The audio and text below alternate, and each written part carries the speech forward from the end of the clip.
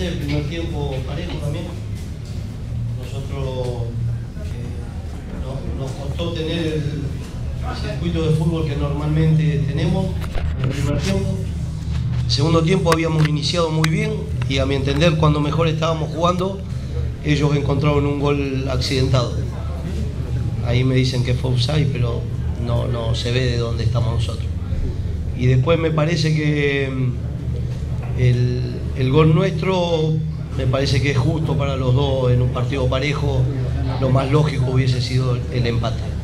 Eh, te quiero consultar por la jugada del, gol de, Racing. Qué, injusto que es este deporte porque Marineri había sido figura, o fue figura en muchos partidos. Hoy, de hecho, tapa 3, 4 pelotas fundamentales y quizás en un mal cálculo, en una jugada, una pelota que viene dando un giro medio extraño, termina jugándole en contra.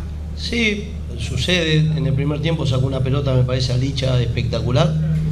Y después, bueno, eh, pasa. Nosotros los jugadores de fútbol convivimos con, el error en forma permanente, acierto y error. Así que muy bien, seguimos con vida. Igual pasaba lo que pasaba, teníamos que ganar en la cancha de River. Así que no queda otra que ganar. Yo lamento mucho los dos puntos con Unión, más que el empate de hoy. ¿Cómo mentalizás a los jugadores para el que viene? No, los jugadores ya están mentalizados. Nosotros eh, cuando llegamos acá al club estaban hace siete, partidos, seis, falta uno, eh, estábamos a cuatro partidos de diferencia y ahora estamos solamente a dos puntos. Así que muy bien, la campaña es excelente. Tenemos que ganar este partido que queda y después era una lástima porque si hoy ganábamos dependía pura y exclusivamente de nosotros. Pero si cualquiera sea el resultado de hoy, igual teníamos que ganar en la cancha de River. Así que tenemos que ir y tratar de, ganar contra un muy buen equipo como River. Pipo, terminaste poniendo bueno, a Vera, a Luna, terminó jugando casi al Coba de 9. Eh, ¿Viste que como estaba el partido esa era la opción que tenía Tigre para buscar el resultado? Sí, porque ellos pusieron tres defensores centrales, entonces nosotros le mandamos tres, los tres puntas nuestros arriba de los centrales de ellos para ver si podíamos generar ahí algo, alguna, alguna jugada con cachete cerrado. Lo retrasamos un poquito a Montillo y intentamos eso. Bueno, Racing también tiene muy buenos jugadores, jugadores de jerarquía y, por suerte conseguimos el empate. Pipo, más allá de lo que fue el partido, te quería eh, preguntar eh, qué sensación te, queda para con el hinche, cuáles son las palabras que, tenés para, para, los hinchas que hoy llenaron nuevamente el estadio. Agradecer el apoyo, agradecer el apoyo y que desde que nosotros llegamos pedimos siempre lo mismo, que tenemos que estar todos juntos hasta el final y después se harán las evaluaciones que correspondan, pero ahora hasta el final tenemos que seguir como hasta ahora, que, que ha sido muy bueno, que el aliento ha sido constante y que hemos ganado muchísimos puntos, así que bueno, muy esperanzado en hacer un buen partido con River y ganar. Pipo, acá, se habla que los cuatro partidos con los involucrados por el descenso serán el sábado a las 15.30. ¿Vos sabés algo? Además, Argentino Si es así, es un despropósito total. Te, explico por qué. Eh, Argentino Junior juega el jueves 19.15 no, están, no se cumplen las 48 horas para poder jugar. Reglamentariamente, tengo entendido yo, capaz que cambiaron el reglamento, tienen que tener 48 horas. No se alcanza a cumplir las 48 horas.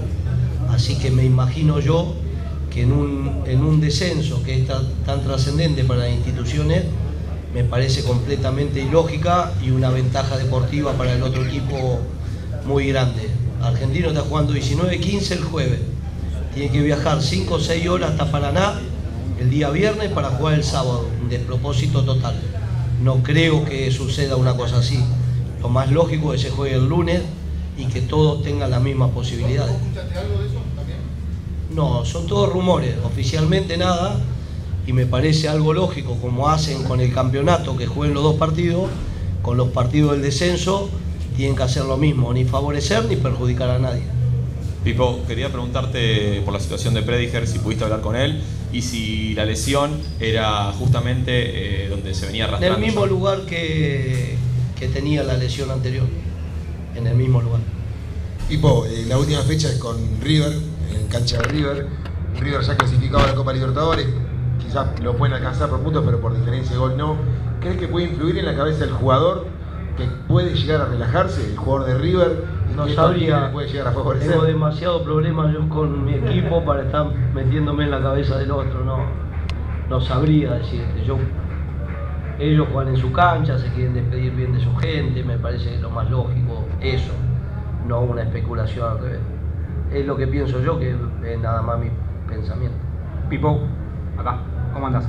¿Esperabas, eh, volviendo al partido de hoy, esperabas ese el planteo de, de Coudet esta noche? ¿Vos lo Los viste? Tigres, jue- eh, Racing juega como nosotros le dijimos que jugaba.